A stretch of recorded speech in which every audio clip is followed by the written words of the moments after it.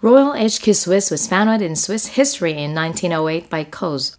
For hundreds of years, Royal HQ has been the leader in the field of Swiss knife innovation and research. In the early 20th century, it was the first to be developed as the world's famous Swiss Army knife.